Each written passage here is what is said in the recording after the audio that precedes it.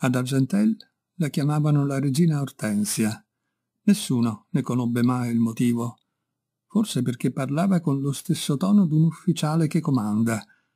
Forse perché era grande, ossuta, imperiosa, o perché governava un vero popolo di bestie domestiche, polli, cani, gatti, uccellini e pappagalli, quelle bestie care alle zitelle. Pure ella non aveva per questi animali familiari né le debolezze né le paroline leziose e nemmeno quelle tenerezze infantili che sembrano scivolare di solito dalle labbra delle donne sulla morbida pelliccia del gatto che fa le fusa. La regina Ortensia governava invece con autorità le sue bestie. Regnava. Era proprio una zitella, una di quelle zitellone dalla voce sgradevole, i gesti rigidi, il cui animo sembrava cattivo. Le erano capitate sempre delle brave servette, perché la gioventù si piega con maggior docilità alle volontà più forti. Non ammetteva mai contraddizioni, repliche o esitazioni, incurie, né pigrizia né stanchezza. Nessuno l'aveva mai intesa lamentarsi o rimpiangere una cosa qualunque, invidiare qualcuno. Diceva ognuno alla sua parte con convinzione fatalistica. Non andava in chiesa, non vedeva di buon occhio preti, non credeva in Dio, chiamando anzi ogni cosa religiosa cianfusaglia per piagnoni. Da trent'anni che abitava nella sua casetta, circondata da un minuscolo giardino sulla strada, ella non aveva mai modificato le proprie abitudini, cambiando soltanto le domestiche senza pietà quando raggiungevano i ventun anni rimpiazzava senza lacrime e senza rimpianti i cani, i gatti e gli uccelli quando morivano di vecchiaia o per qualche incidente e sotterrava i trapassati in un'aiola nel centro d'una piantagione. Poi ci ammucchiava la terra sopra con gesti indifferenti. Conosceva in città certe famiglie di impiegati che andavano tutti i giorni a Parigi. Ogni tanto la invitavano a prendere il tè la sera Inevitabilmente ella finiva con l'addormentarsi in queste riunioni. Bisognava svegliarla al momento in cui doveva tornare a casa sua. Non permise mai che qualcuno la riaccompagnasse, poiché non aveva mai paura né di giorno né di notte. Sembrava che non volesse bene ai bambini. Passava il tempo in mille faccenduole, mettendo in ordine il giardino, tagliando la legna con la sega con l'accetta, riparando la sua vecchia casa e facendo persino da muratore quando occorreva. Aveva dei parenti che venivano a trovarla due volte l'anno, i signori Sim e Colombel, poiché le due sorelle avevano sposato, l'una un erborista, l'altra un piccolo proprietario. I Sim non avevano figli, i Colombel ne avevano tre, Enrico, Paolina e Giuseppe. Enrico aveva venti anni Paolina 17 e Giuseppe tre anni soltanto, essendo arrivato qua giù quando sembrava impossibile che sua madre potesse ancora avere bambini. Nessun sentimento di tenerezza legava la zitella ai suoi parenti. Nella primavera dell'82 la regina Ortensia si ammalò improvvisamente. I vicini andarono a cercare un dottore, che la vecchia cacciò in malo modo, e poiché s'era presentato anche un prete, ella uscì seminuda dal letto per gettarlo fuori di casa. Spaventatissima, la giovane domestica le preparava tisane. Dopo tre giorni di malattia, la situazione parve essere diventata così grave che il bottaio suo vicino, in seguito al consiglio del medico rientrato d'autorità in casa, si prese l'incarico di mandare a chiamare le due famiglie dei parenti. Arrivarono con lo stesso treno verso le dieci della mattina i Colombel avevano portato con loro anche Giuseppino. Quando le due famiglie si presentarono all'ingresso del giardino, videro dapprima la domestica, che piangeva su una sedia appoggiata contro il muro. Il cane dormiva sullo zerbino, vicino alla porta, sotto i raggi brucianti del sole. Due gatti che parevano morti erano sdraiati sull'orlo di due finestre, gli occhi chiusi, le zampe e la coda stese penzoloni. Una gallinona faceva passeggiare un battaglione di pulcini, vestiti di piume gialline, leggeri come l'ovatta, attraverso il giardinetto, e una grande gabbia attaccata al muro, coperta di tela leggera, conteneva un intero popolo di uccelli che garrivano nella luce di quel caldo mattino di primavera. due inseparabili in un'altra gabbietta a forma di casetta, se ne stavano buoni buoni, vicini vicini sui loro trespoli. Il signor Sim, un personaggio grande e grosso che soffiava sempre, che entrava dovunque per primo, respingendo gli altri, uomini e donne, quando era necessario, chiese Ebbene, Celeste, le cose non vanno? La giovane domestica gemette tra i singhiozzi. Non mi riconosce più. Il dottore ha detto che siamo alla fine. Tutti si guardarono con circospezione. Senza pronunciare una parola, la signora Sim e la signora Colombel si abbracciarono immediatamente. Si rassomigliavano molto, perché portavano sempre i capelli divisi in due bande e certi scialli rossi di cashmere francese colorati e vistosi come dei braccieri accesi.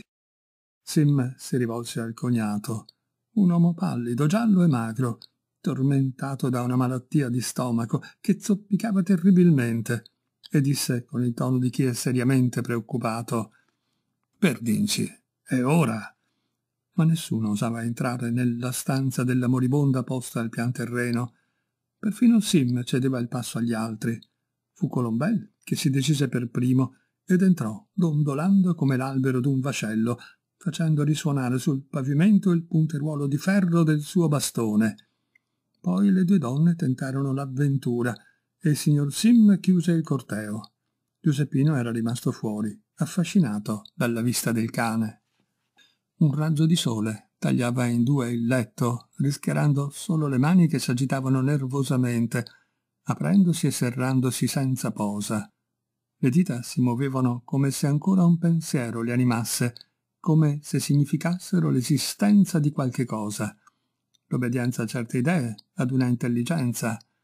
Tutte le altre parti del corpo rimanevano immobili sotto il lenzuolo l'angolosa figura non trasalì, gli occhi rimasero chiusi.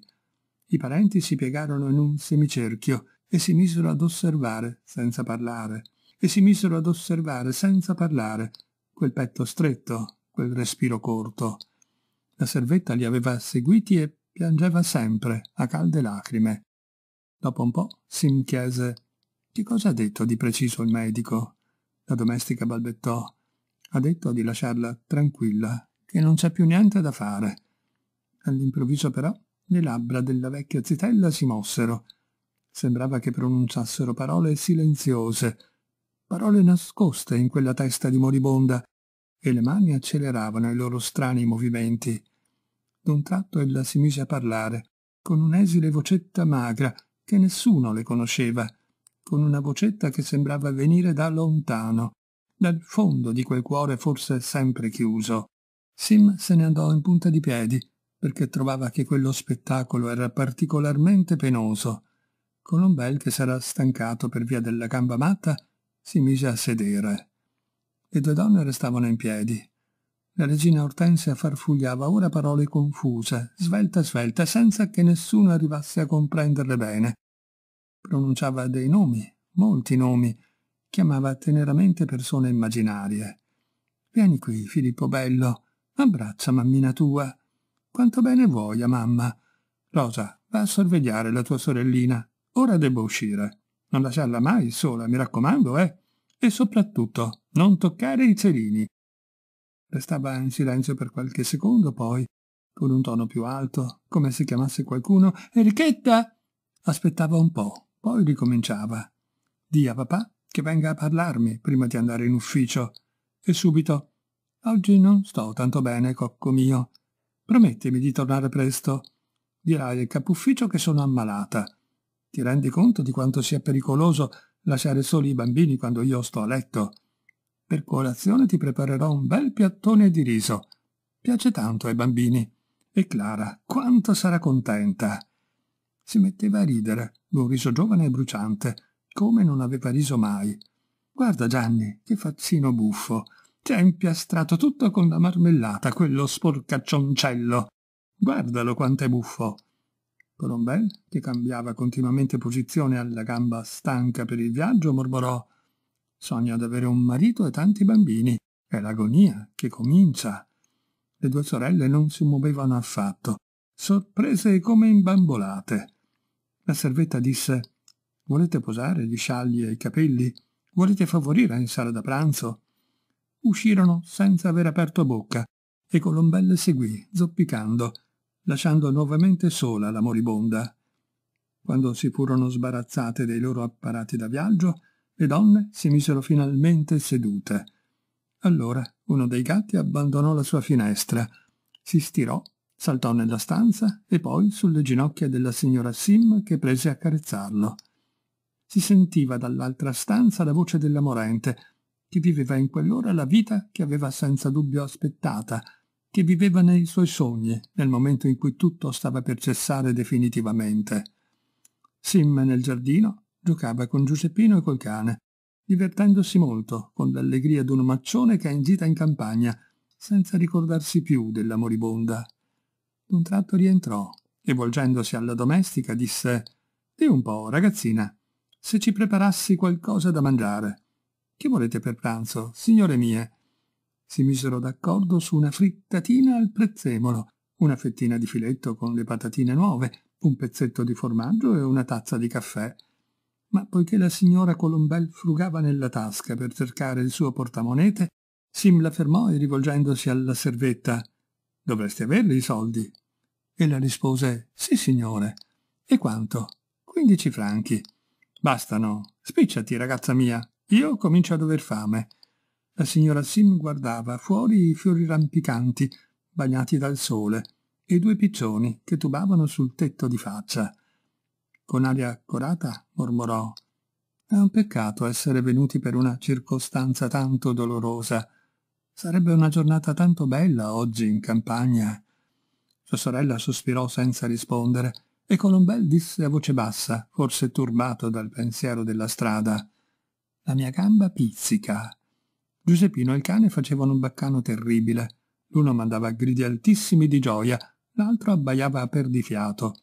Giocavano ad acchiapparella attorno alle tre aiole, rincorrendosi come pazzi.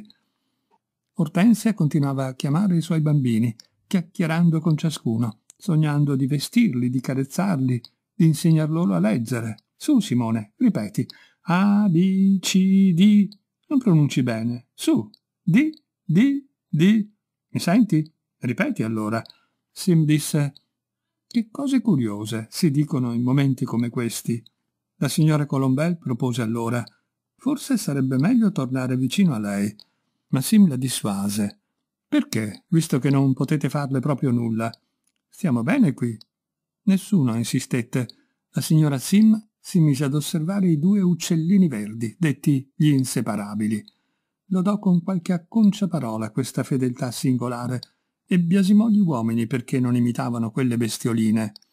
Sim scoppiò a ridere. Guardò sua moglie, canticchiò con intonazione beffarda trallallà, trallallà, come per lasciar capire molte cose sulla sua fedeltà coniugale. Colombel, assalito ora da crampi allo stomaco, batteva il bastone contro il pavimento. Con la coda in aria entrò nella stanza l'altro gatto. Solo a luna si sedettero a tavola non appena ebbe assaggiato il vino, Colombel, a cui avevano raccomandato di bere soltanto Bordeaux di prima scelta, richiamò la serva. Senti, ragazzina, non c'è niente di meglio in cantina?